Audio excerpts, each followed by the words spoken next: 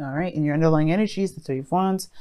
Underneath that, you have the Ace of Swords. So there is some definite truth, some, some sort of clarity.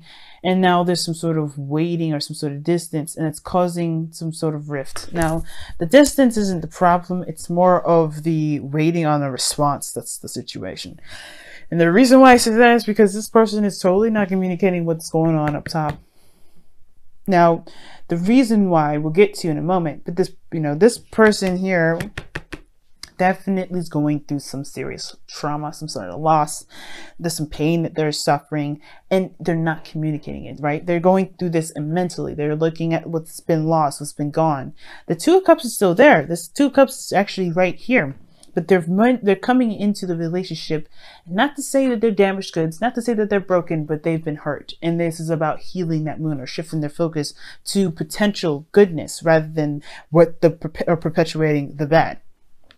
Now, you guys, or the other, or perhaps the other person here, if this is you guys, the Seven of Cups is indicating that this person is having to figure out where they're going to go, what their heart's desire is, right? Taking um taking in the options of the possibilities of something new coming in.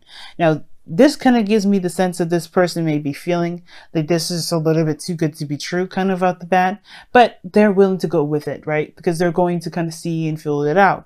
But they're not necessarily deciding on anything because they don't necessarily know what they want, right? This is not necessarily a decision, right? They're having to pick. So there's a lot going on mentally with them as far as making a decision, but they're not solid or sold on any decision yet. They're kind of just browsing and looking around. Again, though, very similar stuff here. Even though this person is going through some pain, this this this person over here is looking at different opportunities, perhaps seeing this as a you know too good to be too true situation. They're kind of waiting for something to kind of.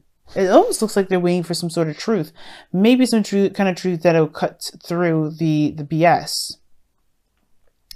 Um, perhaps even expecting some sort of commitment out of out of the blue instead of actually taking action because the three of wands it's, it is more of an act and it's still action that's being done here wait you know doing work and focusing on what needs to be done in the meantime as you wait um, but it's just all about expectation. What does each person expect?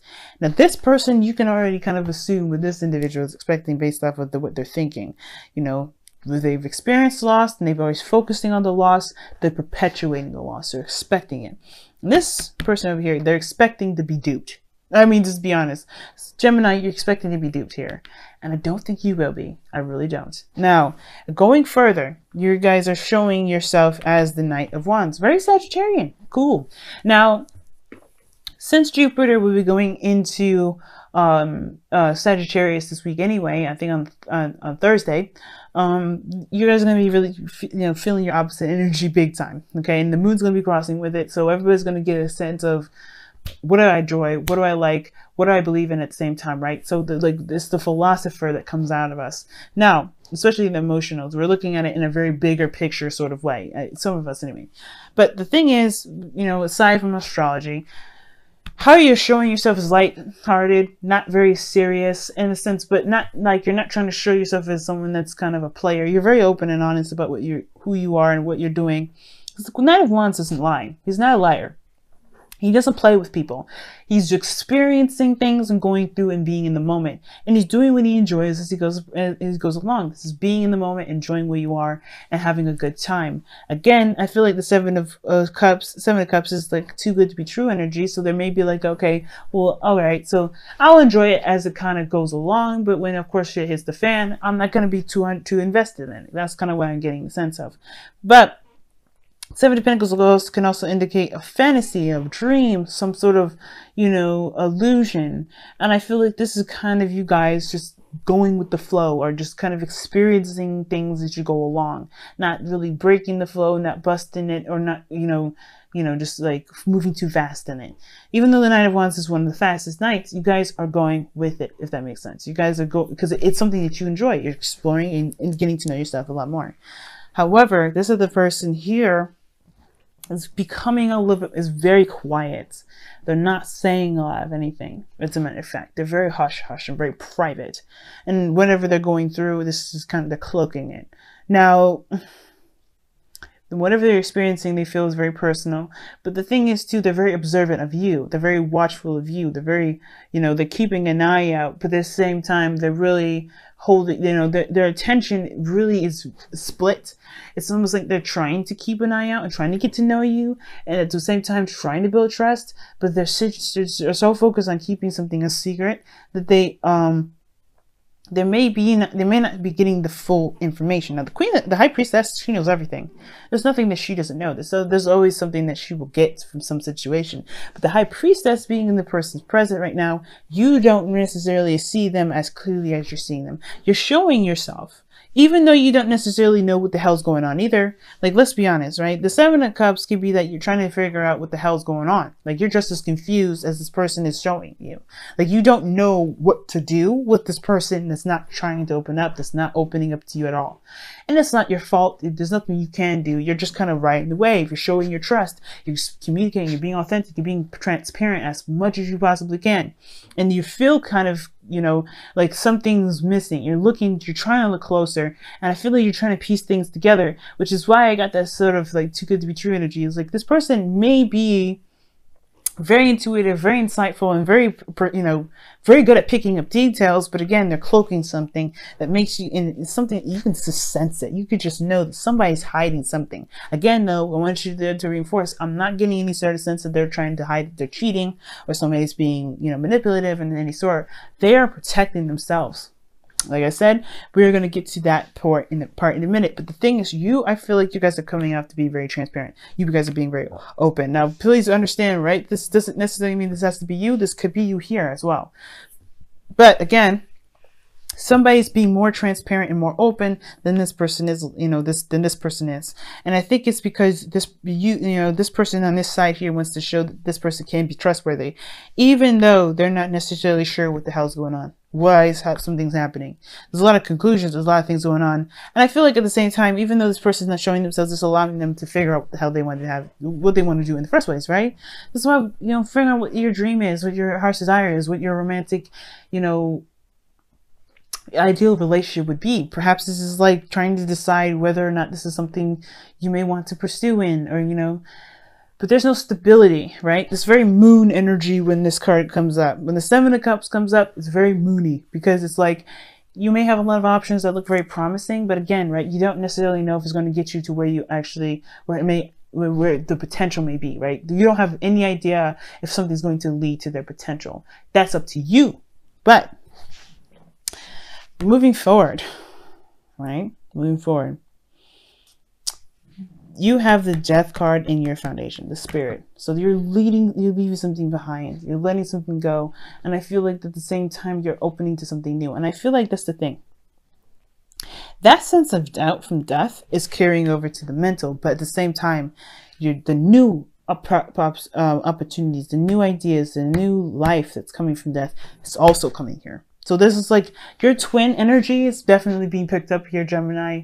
So even though you kind of get this sense that, okay, this is maybe too good to be true, you still have a glimmer of hope. You still have that sun coming up in the background. You still see like a potential for something good out of all of these, which is why you're not necessarily giving up on all of these options yet, right? This is, if this is giving up on something and not trusting something going altogether that, you know, this is going to get you to happiness, it would be the Eight of Cups by now. No, this is a seven. So you have some sort of glimmer of hope and even a sense of possibility that something can actually get you to where you want, you know, where you even may, it may make you happy, right? But you don't have all the information, you don't have all the facts, which is why you have the Knight of Sword, Knight of Wands here, Sagittarian energy, where you're trying to get the bigger picture, you're trying to get a bigger understanding. But you're also showing that you're transparent and open and willing to receive information without being judgmental. So the Knight of Wands is not a judgmental energy. As a matter of fact, he does not judge.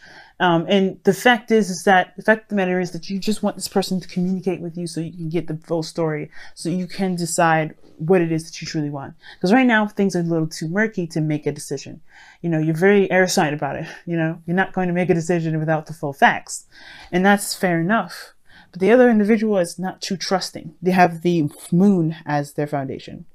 Now, the reason why they're not trusting is because they have been backstabbed. They have, have they have a reason for this fear to be in their foundation. Where they're coming from is fear. is it's confusion it's it's uh, it's un, it's uncertainty to the highest degree here and it's because they've been into a situation in the past where they have been disappointed and saddened because of some sort of loss or something that's been missing from past situations past relationships there's a reason why the two cups is behind them.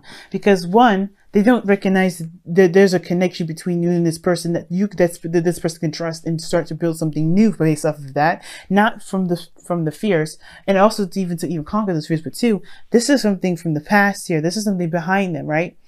This situation when it comes to the two of cups in this relationship they have gone through something so intense that they haven't been able to move forward from that. This relationship, the reason why it brings you guys together is because you guys, in a way, have come from very similar backgrounds.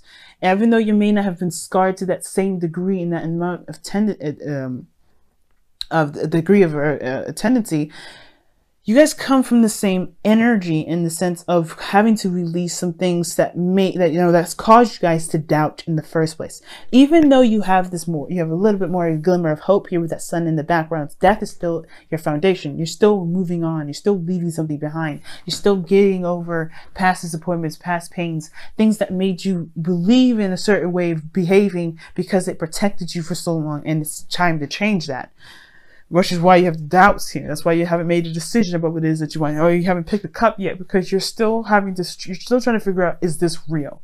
And the same thing is going on with this individual here. Instead of seeing that this is a potential for something new, they're, they're expecting, they're expecting the betrayal. They're expecting something out of the blue coming out. They're expecting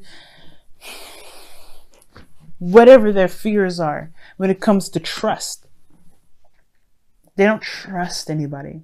And it's again, it's not their fault that they're like that, guys. So this is why I'm saying, like, this is why I'm saying, like, they don't think this is about cheating or anything like that, because this is not about that.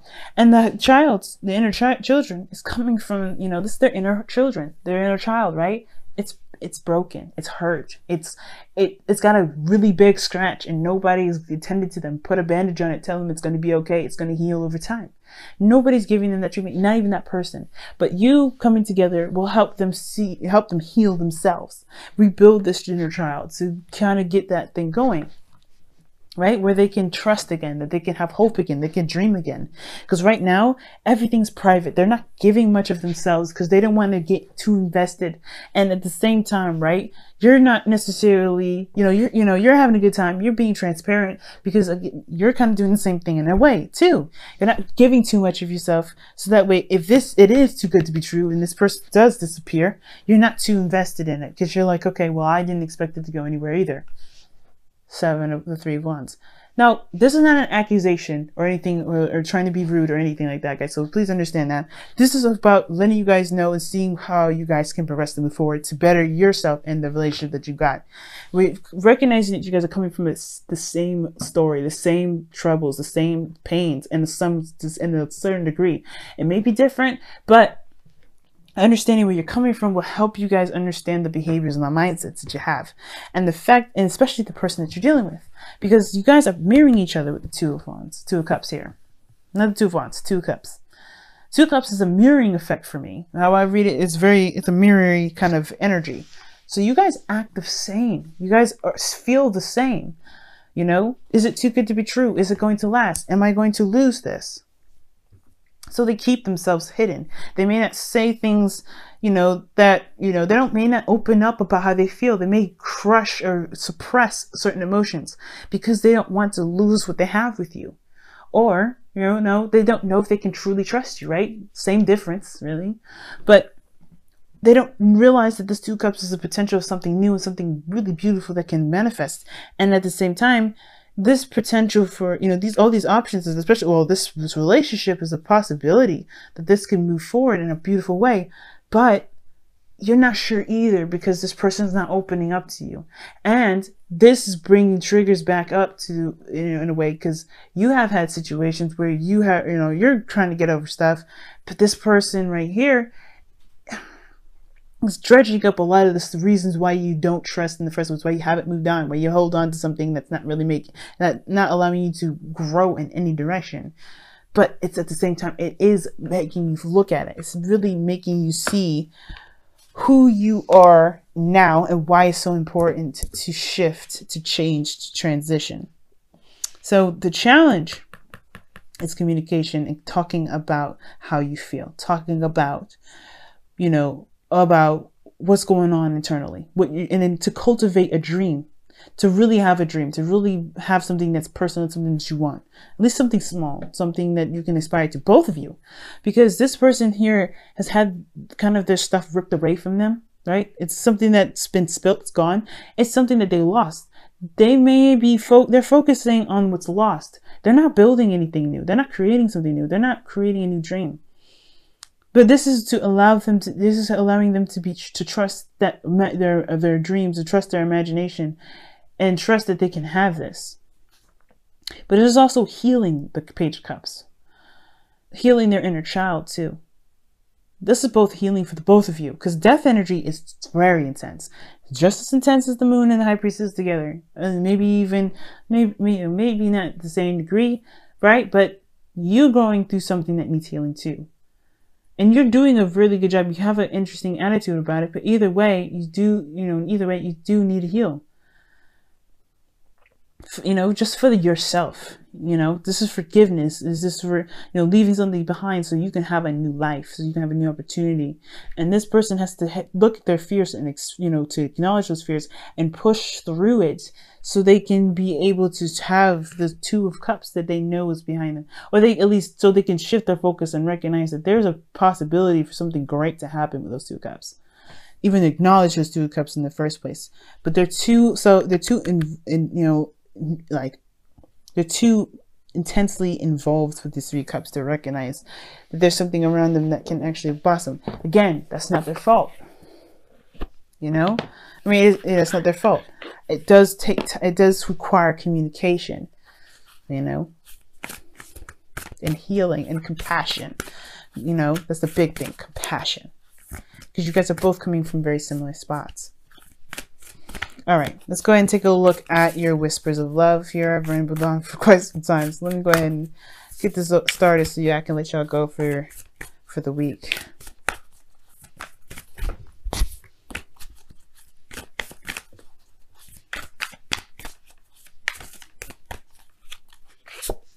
Oh wow, ask for help. Beautiful, guys.